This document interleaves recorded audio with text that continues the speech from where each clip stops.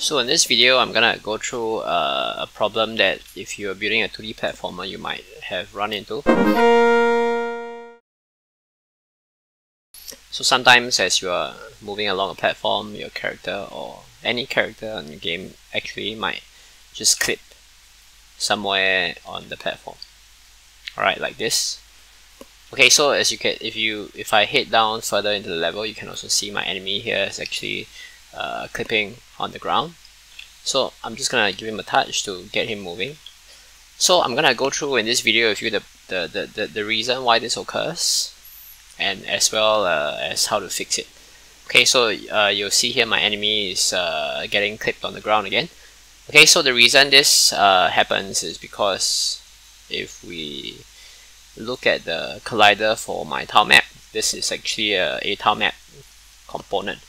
Alright, so um, if I just zoom in right here, you'll see uh, my colliders for the tile map are actually distinct. Okay, so um, what's going to happen here is that because these uh, tiles are distinct, okay, you can see the enemy is clipping on the edge of the tiles. Okay, so if I recreate this uh, issue again, let me just touch the enemy and uh, have him move. Okay, every time he clips, notice that he always clips at the edge of my collider. Okay, I'm just gonna turn off the tile map renderer just to show you a clearer view of how my collider looks like. Okay, so all the green you see here are the colliders. Okay, and when I move, if I clip, it always clips on uh, in between two two tiles.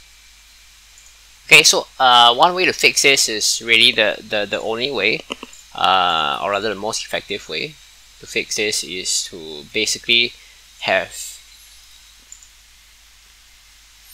okay let me just unplay this. And the most effective way to fix this is basically to use this component called the composite collider. Okay and what I'll do is when I add a composite collider you'll see uh, both a rigid body is added as well as the composite collider that I wanted. Alright so to make use of this composite collider, all I gotta do is just uh, get my collider responsible for all these tiles and check use by composite. This combines all the colliders into one. Okay, so uh, it's a little hard to see because the lines are green, but it's definitely there. Okay, if I were to turn off the tile map renderer, you'll be able to see that.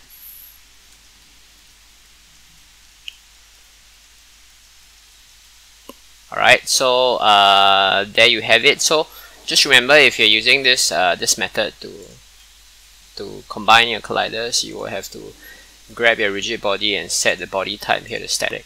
Alright, because if you don't do that, uh, what's gonna happen is that your your entire level is gonna fall off the map because uh, it has physics. Alright, so once you do that, uh, and you make your rigid body static, this is gonna solve the clipping problem for you.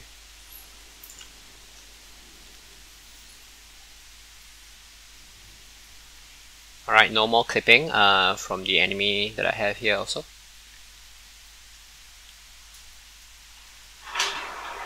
Alright, so the other issue that you might have is uh, if you're not using a tile, uh, tile map renderer or a tile map of any sort, uh, you might just be using a, a parent child system where, okay, so here I have a platform with four sprites inside.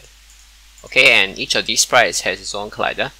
In such a situation, you can also use the uh, composite collider. So uh, it's the same thing here. So if my, my parent here doesn't have a uh, collider, okay, if I would add a composite collider, uh, there will be a rigid body added. And if I would change to static, and uh, if I were to grab all of my box colliders in the child and check used by composite, this will cause the four box colliders to combine into one collider. Okay, so if you're not using the tile map renderer or the tile palette to build your levels, you can still make use of the composite collider to combine uh, colliders from your children into one single collider. This solves again the problem of having having your characters or your platform uh, enemies or NPCs clip on these platforms. Okay, so uh, the final way really is instead of having a composite collider, if you want to simplify things, uh, you see here I have again this is a 9 by 1 tile.